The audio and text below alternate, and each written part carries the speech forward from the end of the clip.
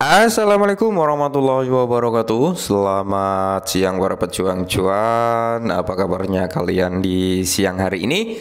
Semoga kalian dalam keadaan sehat semua ya Dan saya doakan sukses semua buat kalian. Amin. Mantap jiwa ya. Pokoknya tentu terkecuali buat anak, cucu, saudara, cicit ya Nenek pokoknya semua ya Semua keluarga kalian. Semoga yang dari golongan bawah bisa naik kelasnya teman-teman menjadi golongan menengah ke atas ya kan. Step by stepnya setelah menjadi golongan menengah ke atas Semoga kalian menjadi golongan atas yang tidak melupakan proses selama kalian berada di bawah gitu ya. Amin. Oke. Okay. Di sini kalau kita lihat teman-teman untuk market cap-nya berada di area 1,64 triliun dolar, ada sedikit persentase kenaikan sebesar 0,36 persen teman-teman ya.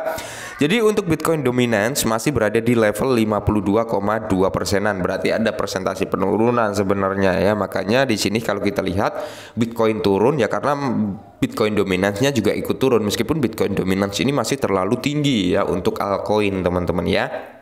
Jadi Bitcoin dominance ini ada plus minusnya teman-teman ya. Nilai plusnya ketika Bitcoin dominance ini naik berarti uh, ini menandakan bahwasanya orang-orang ini sedang tertuju ke Bitcoin. Makanya Bitcoin akan harganya akan naik ya, akan cenderung mengikuti presentasi kenaikan daripada Bitcoin doms-nya ya.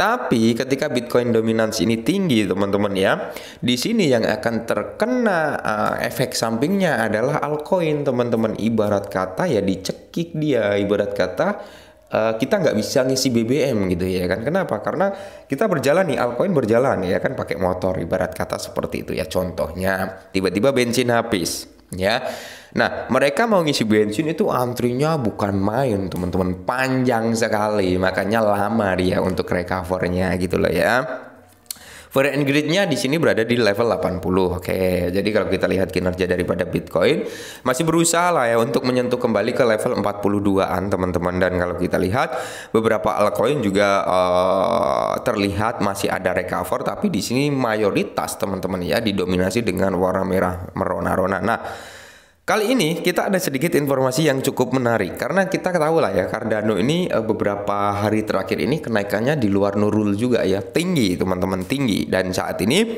berada di level 5535 ya dengan 0, di uh, dengan 0 ya 0,5539 teman-teman. Sebenarnya kalau dalam range satu minggu dia masih ngebul sekitar 35 persenan. Oke mantap ya. Nah jadi langsung saja kita menuju ke TKP-nya.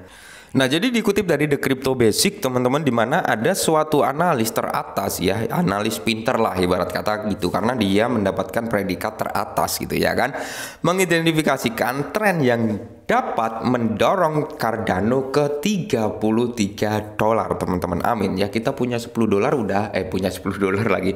Punya 10 Cardano kalau harganya sampai ke 33 dolar berarti kita punya 330 dolar yang notabene ya di range jutaan ya kan mantap jiwa ya. Nah, di sini analis pasar terkemuka Taylor ya strict first ber, uh, berspekulasi bahwa Cardano atau ADA ya kan siap menghadapi lonjakan besar dalam beberapa minggu mendatang teman-teman. Spesifikasinya berapa minggu kita nggak tahu, cuman beberapa minggu mendatang ya.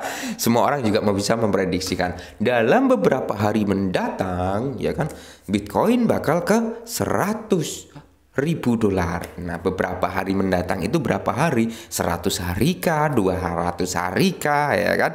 Atau bahkan 500 hari kah? Kita nggak tahu karena bilangnya beberapa hari. Nah, kalau ini beberapa minggu, ditanya spesifikasinya kapan? Juga nggak tahu karena dia bilang beberapa minggu. Bisa empat minggu, ya bisa satu minggu, bisa dua minggu, bahkan bisa berminggu-minggu gitu lah ya. Jadi dengan adanya analisa seperti ini teman-teman ya, kesimpulannya apa? Analisa itu bisa benar terjadi, bisa enggak. Jadi kita hanya bisa uh, oke okay lah kita percaya dengan analisa orang 50% aja tapi jangan 100% gitu loh ya. Dalam tweet baru-baru ini, Wars membuat lebih dari 89 ribu pengikutnya tercengang setelah dia mengungkapkan bahwa Cardano mata uang kripto terbesar ke-9 berdasarkan market cap-nya ya kan uh, dapat melonjak sekitar 6000 persen selama 66 minggu ke depan. Oke, 66 minggu ke depan berarti berapa bulan itu ya kan? Sebulannya 4. Ya.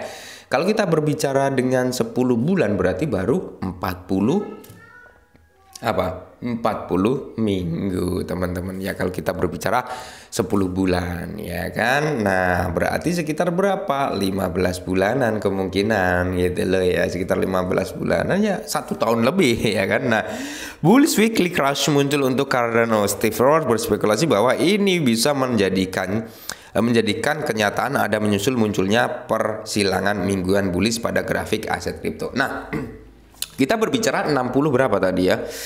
66 minggu teman-teman. 66 minggu berarti kita sudah masuk di masa bulan teman-teman. Karena apa? Bulan terjadi di 2025 ya kan gitu loh ya 66 minggu ya. Jadi kita mungkin udah masuk di masa bulan nah, masuk akal juga kalau harga Cardano bisa meledak gitu teman-teman ya. Sebenarnya bukan hanya Cardano oke. Jadi gini teman-teman ya ini hanya sekedar saran buat kalian yang uh, notabene men ingin mendapatkan harga murah. Oke, saran dari saya teman-teman, saran dari saya ya. Mumpung kita belum berada di akhir tahun ini ya, dalam artian tinggal ngitung jam lah ya, masih dalam fase akhir tahun tapi belum habis. Manfaatkanlah tahun 2023 akhir ini teman-teman untuk kalian mencari aset mana nih yang bakal memiliki potensial ledakan saran dari saya uh, tahun 2024 apalagi halving kalian stop untuk melakukan akumulasi. Ya tinggal menikmati hasilnya aja nanti gitu teman-teman. Jadi ya kita dalam eh, masa-masa uh, akhir tahun 2023 ini manfaatkanlah ya. Jangan sampai ada kata-kata ah kenapa nggak beli? Ah ya kan nggak nggak bagus juga teman-teman ya. Ah kenapa sih? Ah ya gitu nggak bagus ya jadi jika skenario sama yang sama berlanjut setelah kemunculan kembali persilangan mingguan bullish ya, Cardano dapat melonjak menjadi uh, seharga 33,55 dolar selama 6 minggu ke depan 66 minggu ke depan akibatnya. Hal ini menunjukkan bahwa Cardano dapat mencapai harga yang diproyeksikan sebesar 33,55 dolar pada tanggal 15 Maret 2025 bener kan? Kita sudah masuk masa bulan tahun 2025 jadi masuk akal juga gitu ketika harga Cardano bisa melonjak se uh, demikian rupa gitu teman-teman. Semoga saja ya Nah, untuk konteksnya Cardano berpindah tangan pada 0,55 pada saat artikel ini ditulis, turun 6,2% selama 24 jam terakhir. Khususnya lonjakan Cardano ke level 33,55 miliar miliar lagi dolar ya, memakili lonjakan sekitar 985,76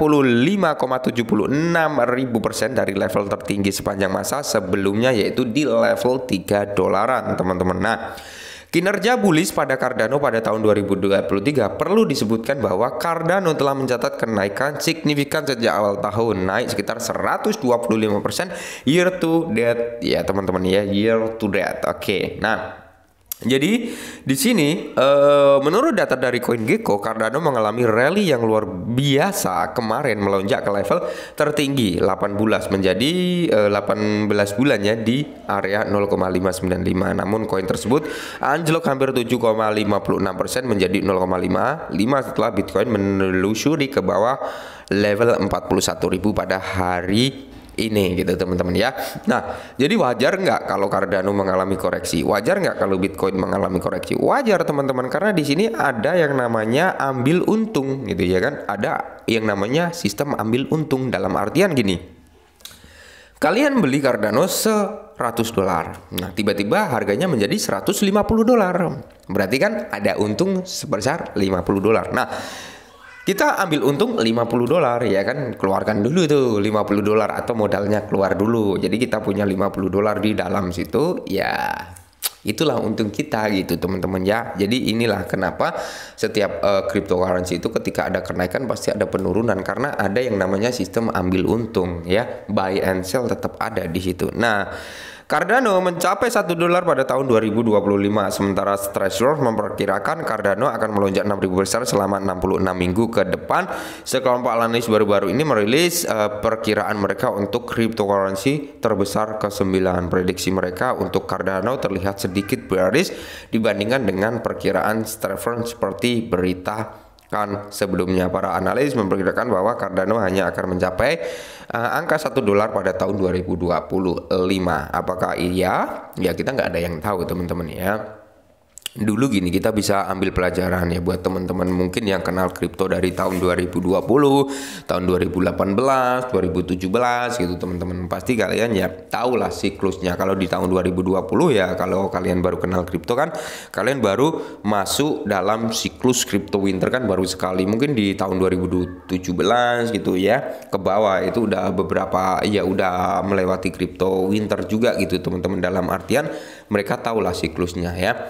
Nggak ada ilmu pasti di sektor kripto. Jadi kita hanya bisa memperkirakan, kita hanya bisa memprediksi, kita hanya bisa menganalisa, tapi yang bisa ngerakin harga ya eh, orang-orang yang melakukan transaksi di dalam market tersebut, di dalam aset tersebut ya. Jadi pure ini adalah uh, dari real human gitu yang bisa naikin value-nya gitu teman-teman. Semakin banyak demand yang masuk maka harganya juga akan di luar nurul ya kan. Semakin sedikit yang masuk ya harganya akan di luar nurul juga gitu teman-teman. Sebenarnya supply and demand di sini juga bermain ya. Jadi gini, supply and demand itu uh, saling berjalan beriringan teman-teman ya. Ketika supply-nya sedikit tapi demand-nya nggak ada, sama aja harga nggak akan naik teman-teman. Padahal supply sedikit itu ya kan. Ya semisal supply-nya hanya 10 juta tapi nggak ada demand, demand-nya sedikit yang masuk, ya otomatis apa? Harganya juga nggak akan mahal juga gitu teman-teman ya. Terus di sini ada yang supply-nya 10 miliar ya, tapi demand yang masuk, value yang masuk banyak ya otomatis harganya akan mengalami kenaikan gitu teman-teman. Jadi supply and demand juga bermain. Nah, oke okay, mungkin ini dulu semoga bermanfaat dan salam duang uh, cuan ya. Tetap utamakan disclaimer segala sesuatu itu bisa terjadi dan sampai jumpa nanti.